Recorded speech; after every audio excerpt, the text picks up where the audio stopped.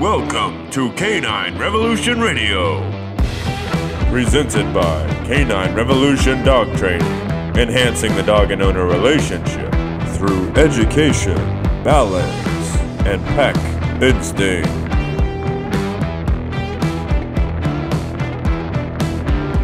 All right, so today we're talking about remote collar facts and fiction. There's a lot of facts and a lot of fiction about remote collars floating around the space out there. And so we're here to clarify some of that today here on Canine Revolution Radio. All right, so let's jump right into this. All right, there are a lot of myths, there's a lot of improper details surrounding remote collar systems. Uh, a lot of people refer to remote collars incorrectly.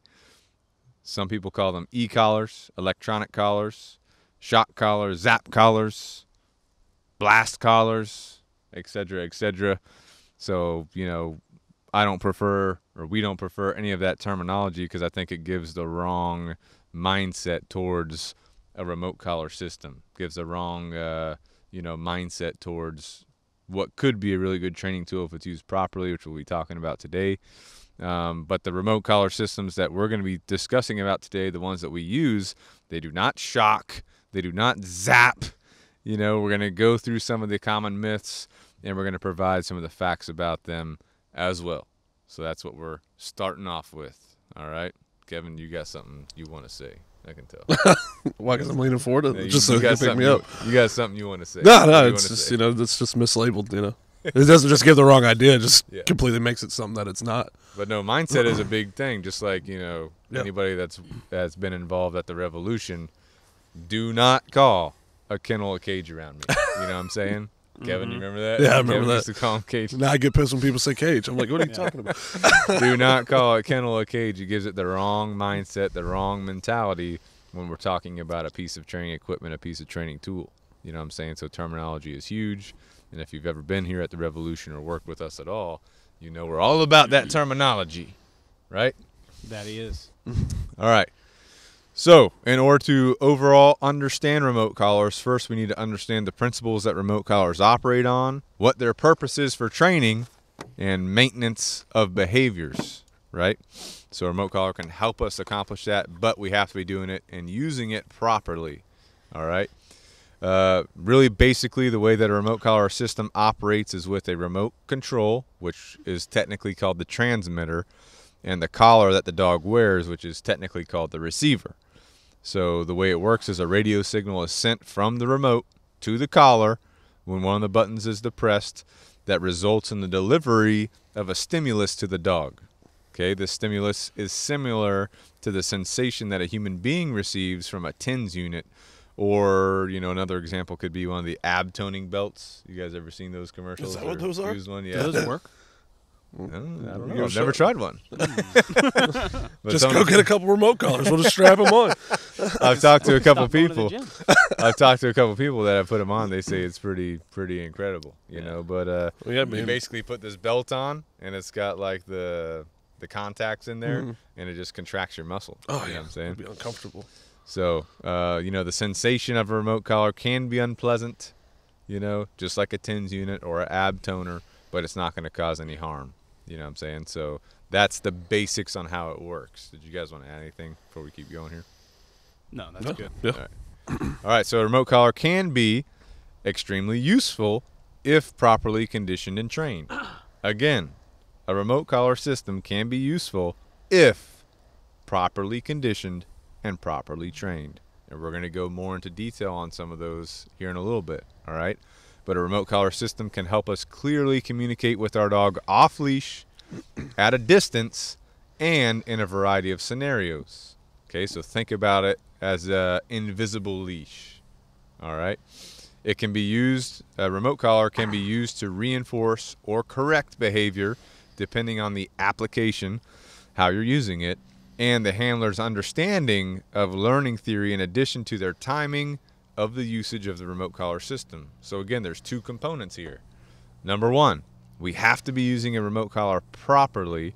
We have to condition it properly. We have to understand the tool, right? We have to be applying the tool very properly. And that also comes down to the handler, the trainer, the owner, whoever's using it their understanding of learning theory, canine learning theory, how do dogs learn things, how do they operate, how do they think, in addition to their timing. You know what I'm saying? Because even a even a, a, a using the timing incorrectly can make it uh, you know not a fair situation for the dog depending on what's going on. You know what I'm saying? So as an owner, as a handler, as a trainer, I have to have a very detailed understanding of learning theory. I also have to have an understanding of how to operate the remote collar system. You know what I'm saying? Mm-mm. And that's what we do obviously when we're working with people. We're teaching them, training them, coaching them on how to use this tool properly with their dog. You know what I'm saying? And every situation is different. You know, sometimes you may not be using it, sometimes you may be using it, sometimes you may be using different features, but every situation is different. You know what I'm saying? And you have to, your knowledge of your dog and learning theory and how the dog operates, in addition to that tool, is what's going to make everything as successful as possible. You know what I'm saying? Yeah. Got anything? Yeah, I mean, along with that, just clear communication system as well. It's huge, you know, for remote call application. Obviously, you'll you'll achieve that going through, you know, most most training uh, methods. Uh, but that's huge, along with the time. And like you said, just because dogs very much so live in the moment. You know, if your dog, you know, defecates on the floor and you discover it 30 minutes later, you can't just bring the dog out, point at it, and then start delivering that stimulation. It's not gonna. Right. You're not doing anything at that point. So Right. there's a lot of do's and don'ts, which I'm sure we're gonna going to talk about. But for the average Joe, you know, Hmm. probably want to go through a professional to get this properly conditioned to your dog, so that you don't build upon uh, any bad behaviors, existing insecurity, anxieties, things like that. Mm-hmm. Yeah. Yeah. And we want to be fair too. you know. Yeah. Yeah, Absolutely. absolutely. And and to to further dive into that a little bit, like this is why it's fair. Like you mentioned earlier, it's unpleasant, but it doesn't cause harm.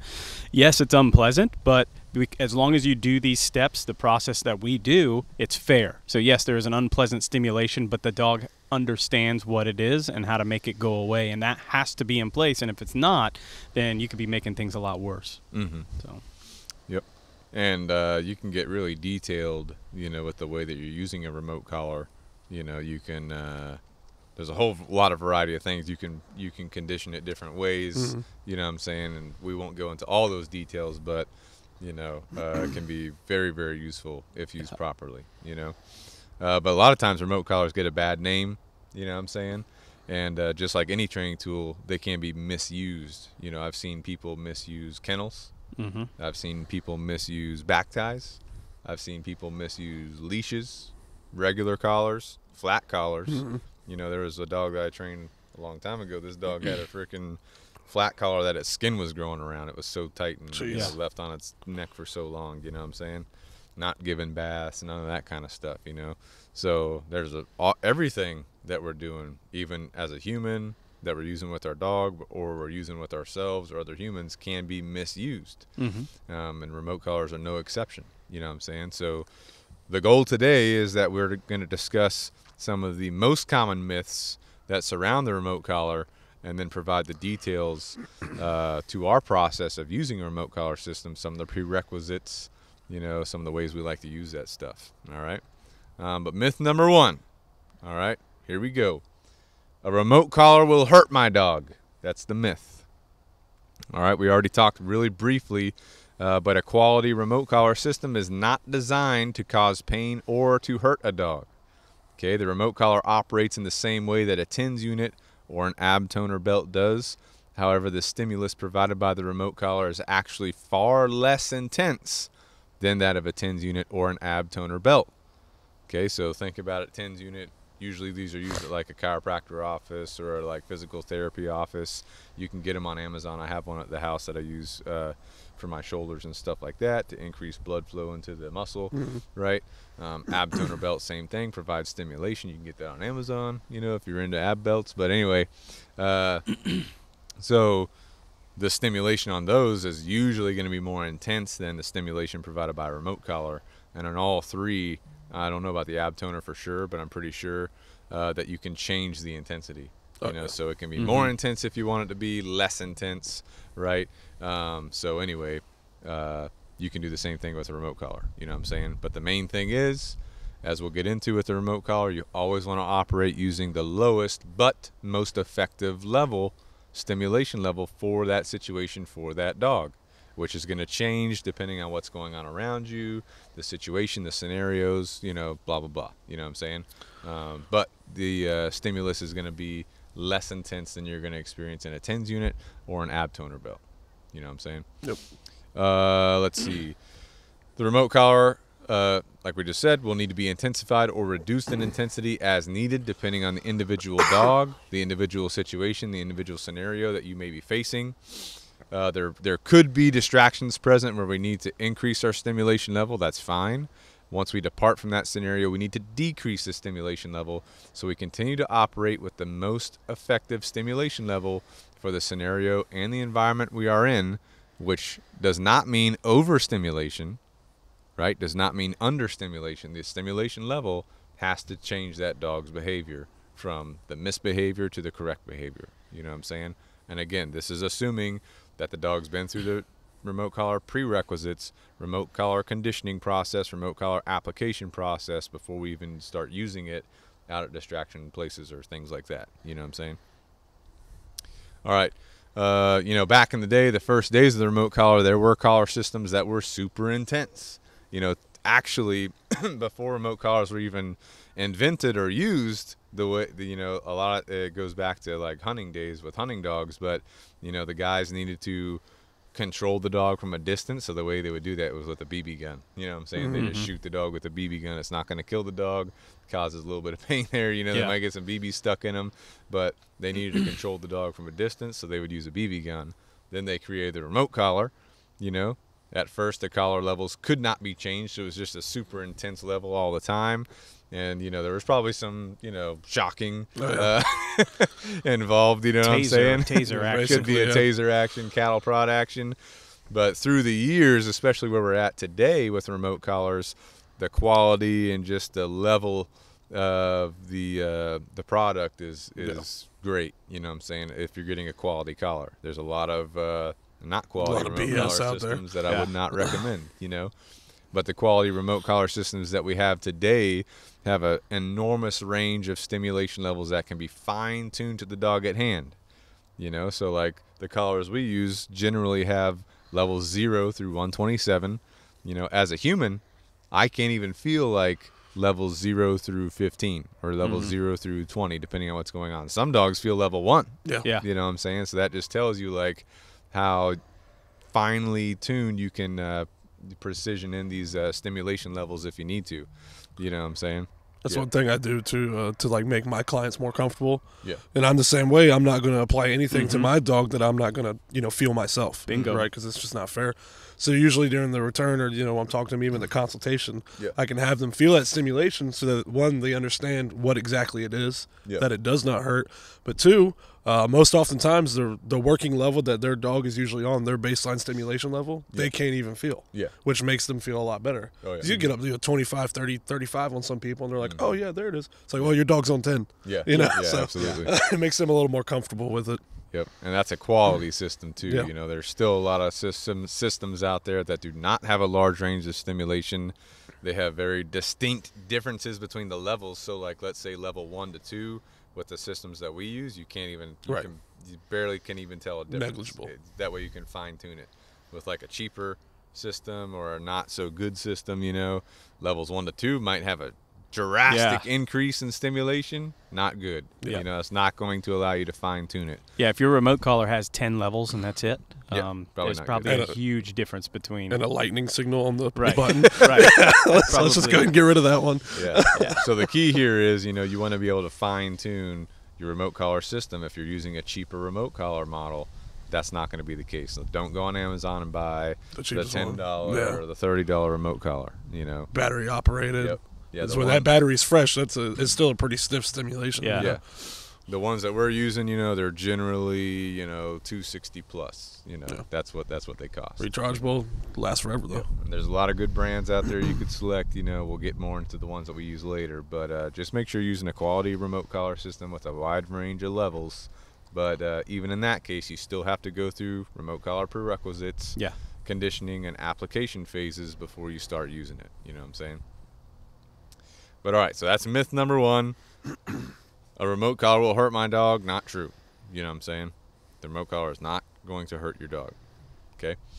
Myth number two the remote collar will burn my dog's neck. You know, I've heard this before. It's a common thing, you know, floating around the internet about remote collars.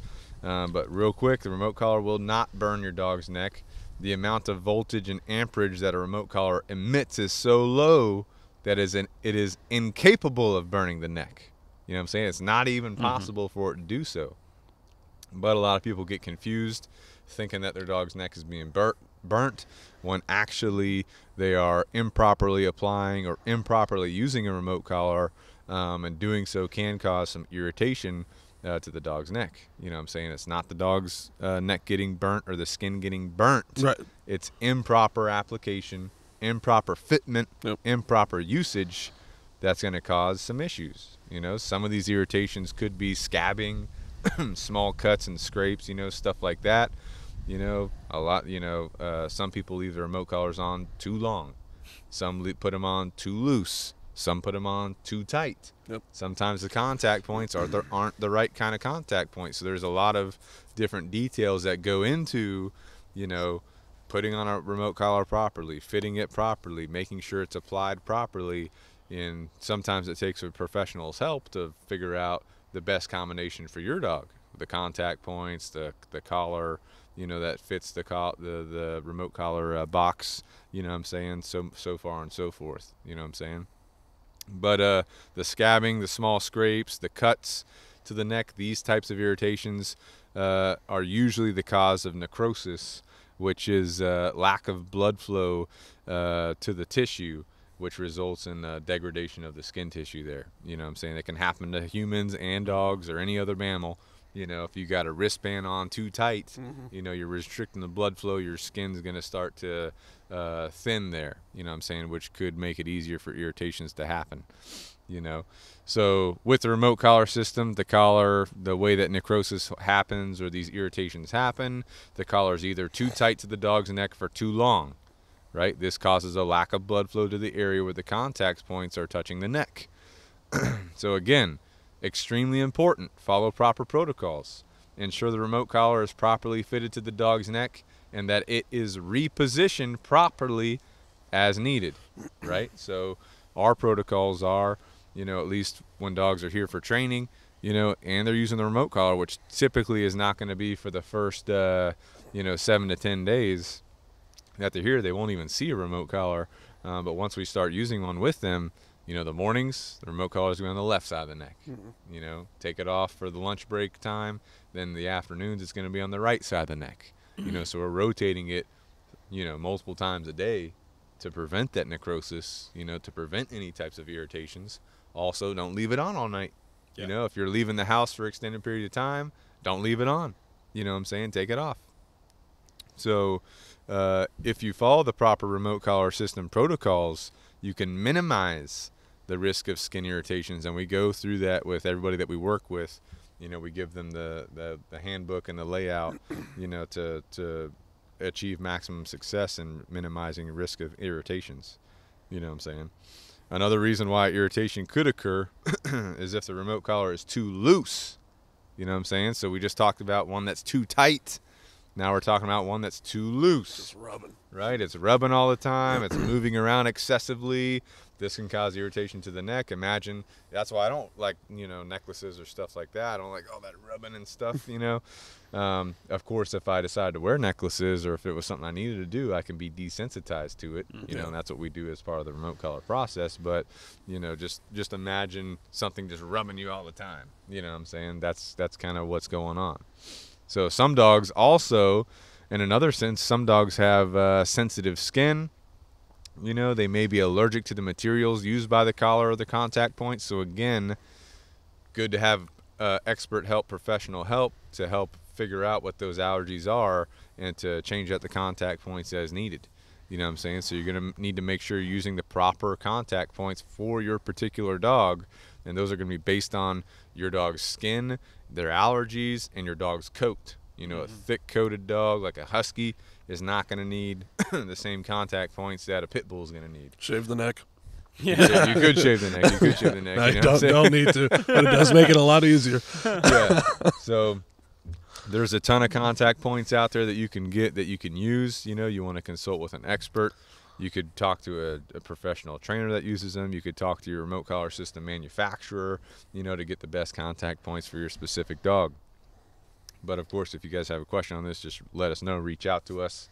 Um, but in general, you're going to have uh, several options for contact points. You're going to have what we call standard contact points, which are the ones that come with the remote collar. You're going to have uh, like a medium contact point, which is like a three quarter inch contact point that could be used for, uh, you know, dogs that aren't quite husky status, but a little bit German less, like German Shepherds. Shepherds. Yeah, German Shepherds are common. Uh, you're going to have extended contact points. These are like an inch or over an inch uh, in length. That's for your, like your Huskies. You know what I'm saying? You can have short contact points or a comfort adapter, which would be like for your pit bulls, Dobermans, uh, you know, some Rottweilers. It just depends. You know, that's going to be a shorter furred dog.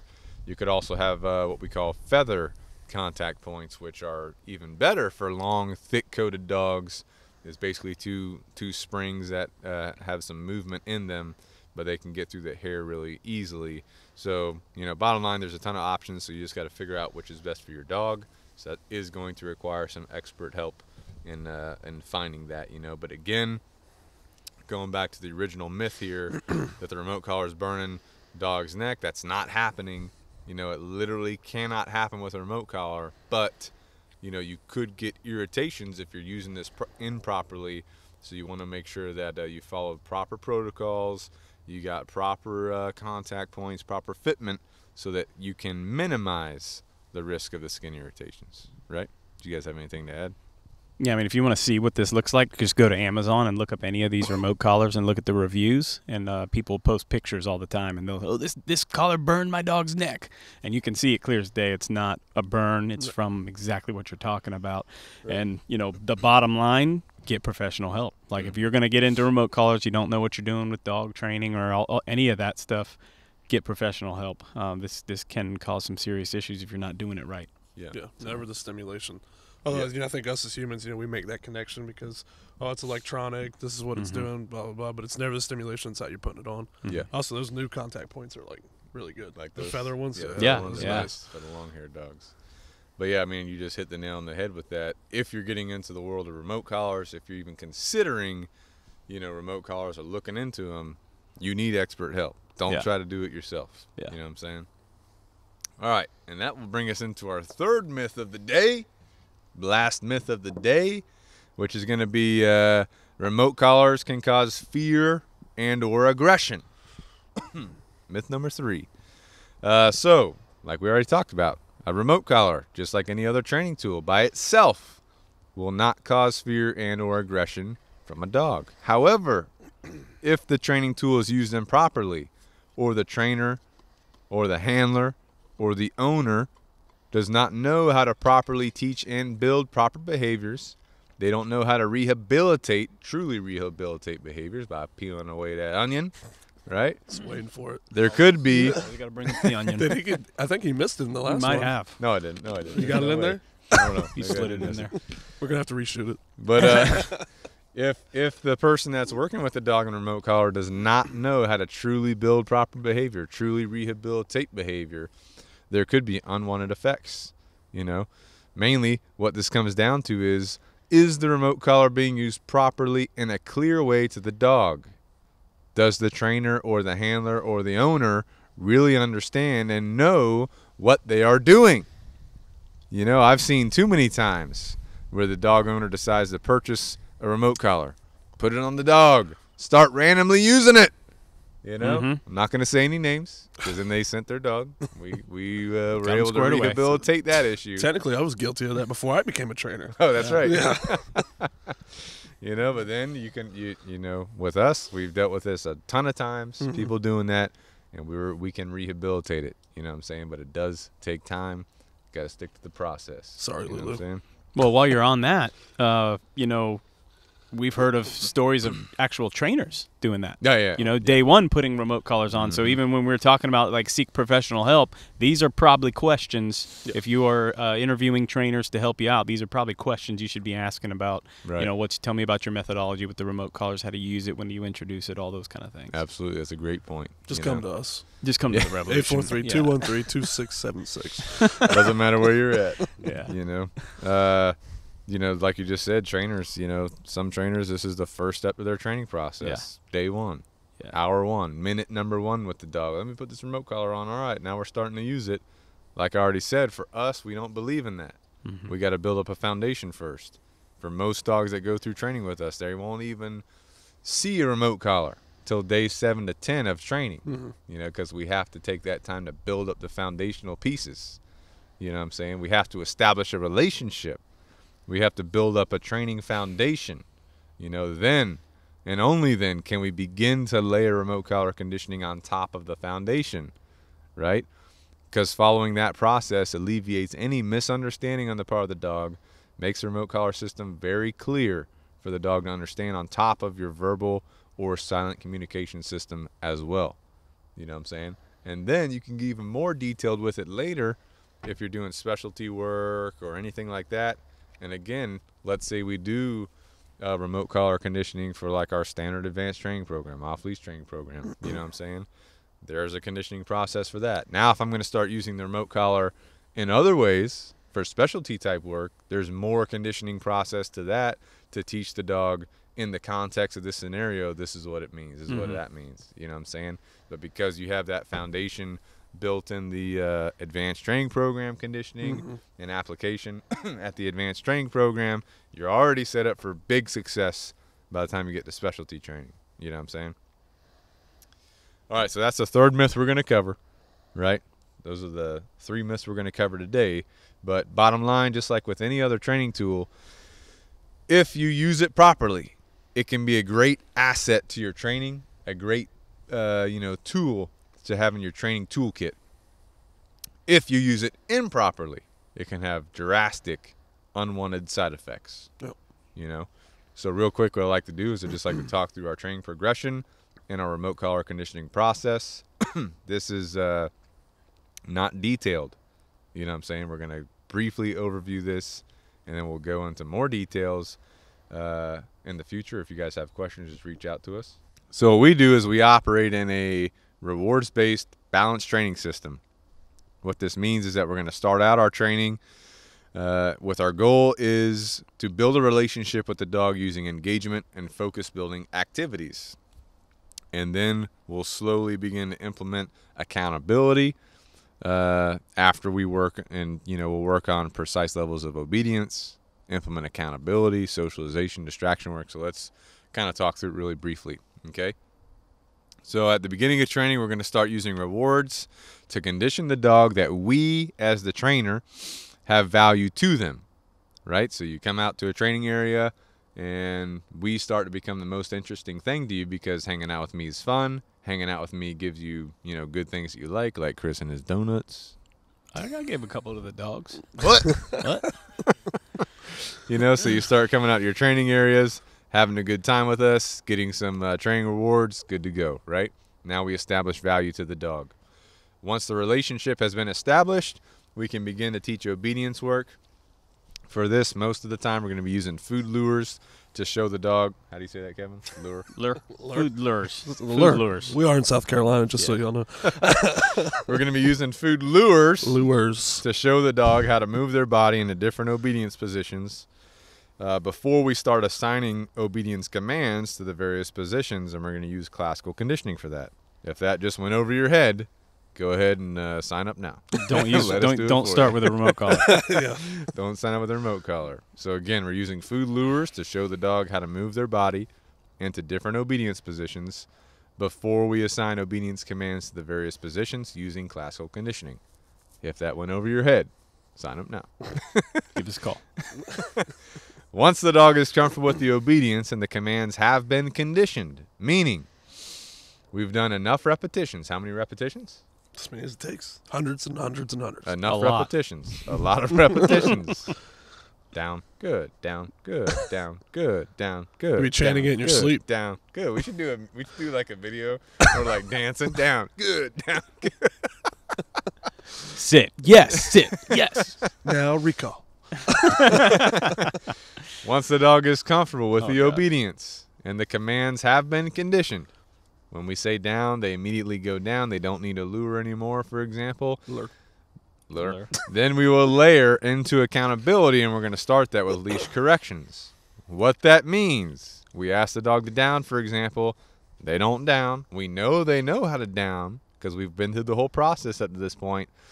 So we say no, and we give a quick tug on the leash, right? Leash correction. At that point, the dog's like, oops, they lay down. Good. We reward them. You know what I'm saying? So that's the first step to accountability. Notice we have not started talking about uh, remote collars yet. Okay? So once the dog is comfortable with all obedience, with leash corrections, then we begin our remote collar conditioning. Again, typically, everything up to this point is going to take seven to 10 days of training before we even start the remote collar conditioning piece. Sometimes it could be a little bit longer or shorter, depending on the dog, right? Once we start remote collar conditioning, the first step for us is just to have the dog simply wear the collar for about one to two days in their day in, day out activities. They're still doing their walks, they're still doing their training uh, sessions, but now they're just wearing a, a new collar. Nothing's happening with the collar, it's just being worn, right? Because usually the remote collar is going to be fitted a little bit tighter than a normal collar, right? Uh, uh, so they have to be desensitized to that. There's going to be some extra weight from the remote collar. They have to be desensitized to that. So we just want them to forget that the collar's even there, you know? So, like, similar to us wearing a watch, after a few days of constantly wearing it, you forget that it's there. Or it feels like it is there even when it's off. We want that same effect with the remote collar. It's like this ring. Absolutely. I take it off. I'm like, ah, I can still feel it. It's so weird. Once the initial uh, desensitization is complete, we are going to determine the lowest level that the dog can detect from the remote collar and use that level for our conditioning process. The dog can barely detect this level, right? We just barely want them to feel any sensation, right? Once we figure out that level, we're going to uh, start the conditioning process. And the way we're going to do that is we're going to classically condition the sensation of the remote collar to all the obedience behaviors, and then we're going to follow that with a reward, right? So we start this with the recall, then we go to the sit, the down, the heel behaviors to ensure that each step is extremely clear to the dog and they understand exactly what the sensation of the remote collar is communicating to them. And the conditioning process itself could take between one to three days, you know, sometimes shorter. Then we're going to start to apply the remote collar to all aspects of training, but especially for distance and off leash work to ensure the safety and well being of the dog. And that's the bottom line why remote collars are so useful because it helps us to ensure our dog's safety and their well being in every situation, every scenario. You know what I'm saying?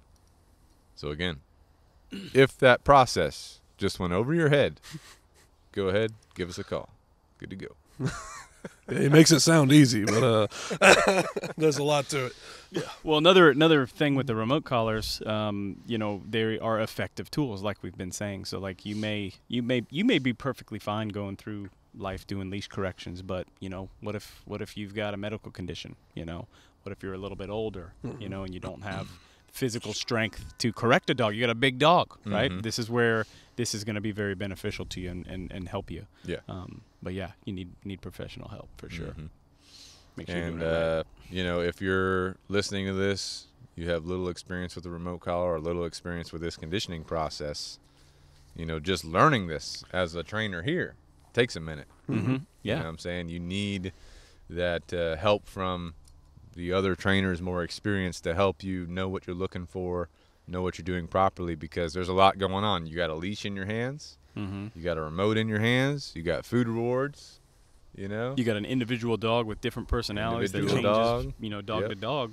Yep, So- absolutely. So there's a lot of moving pieces to this conditioning process and getting it right is critical. Yeah. Yeah. You know what I'm saying? Some are This- more like okay with it, others you know are mm-hmm. not. You know, Yep. you got to approach each one differently, Yep. And if Patience is key. You know. right. If you rush through it, you're not setting that dog up for success. and you're just gonna have to go back and redo it. You're gonna Yeah. have to go back And take longer. Yeah. take longer because now you got to recondition it. You Yeah. know what I'm saying? So bottom line, remote collars are often a misunderstood training tool. Obviously, you know it's a heated d- debate, heated topic, no matter where you go. Um, however, if you use them properly, they can be a great way to communicate with your dog clearly and ensure your dog's safety, especially when you have them off leash or at a distance from you. Just wanted to make it clear again, we do not recommend getting a remote collar system and just putting it on your dog and start using it. We also don't recommend having a remote collar as the first step in a training process or training progression. So, like Chris already said, if you're talking to trainers and you're browsing around, you know, ask them how are they using a remote collar? What's the methodology? You know, how are they how are they conditioning? You know? Or if they're if you're doing a consultation and the first thing you do is put a remote collar, walk out, Yeah, Yeah. absolutely. get out of there. Absolutely. And if they're not able to clearly communicate and effectively communicate to you, could you imagine them not being able to co- clearly and effectively communicate with your dog? Yeah. You know what I'm saying? Yeah. Yeah, I mean, because you know, right? If they slap it on day one, that already tells you right there they don't care about the bond. Yeah. You know, Yeah. anything like that. Trying to rush it. that's going to create a negative association with the handler. So then yeah. they may have a harder time training. You know, so a lot of times they uh they trip over their own feet. You know, doing Yeah. doing some of the things they do. But yeah, definitely, definitely be careful of that. Yep. All right. Uh, so take your time, build up a relationship, peel away the onion That layer in the dog's mind. Got to get to That's that not onion. that's not typed in the notes, But by the way. It's not. He just he just brings it Just up. peel it away. Yeah. The onion layer is a big deal. then It's like Shrek. add some layers. Hey, you peel away some layers, you add some layers. Hey. Layer on the remote collar work clearly and effectively and efficiently on your training foundation. You know what I'm saying? So, but yeah, Good remote stuff. collars, good to go. You Yeah. guys got anything to wrap it up? Good. That was good stuff. Yeah. Kevin, Kevin, you look like you got to say something. No, so it's a great He just tool. has that look Good to today. use. You know, Yep. you educate yourself on it like you would anything else before. Uh, you know, making a harsh judgment. You know, t- some people when they see it out in public, uh, they just don't know. Mhm. But you know, Yeah. it is a very sometimes it's an emotional reaction Mhm. because they don't understand how it works. So I always like to take the time try to explain to them. Some people ain't hearing it, Yeah, Uh, yeah, a lot of people ain't hearing it. but, it is an effective tool, uh, no matter where you where you stand on the side of the fence. There, so Yep. And if you get to advanced levels of remote collar work and you're doing specialty training with it, I mean, it's incredible Yeah. how clearly communication can be, how the dog responds to it. But you also have to be on your A game because you're still operating in an operant world. Mhm. You know what I'm saying? Reinforcing behavior, correcting behavior, using all the tools in your tube, tool belt. And the remote collar is just one tool. Yeah. One tool. Don't forget that. It's one tool. You know what I'm saying?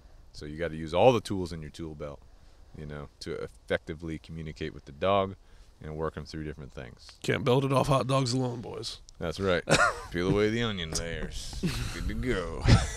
All right, guys. We appreciate y'all listening to Canine Revolution Radio.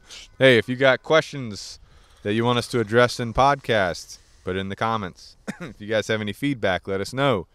If you like the podcast, go ahead, uh, review us on your podcasting platform so we know, you know, the feedback. You know, hit the subscribe button on YouTube.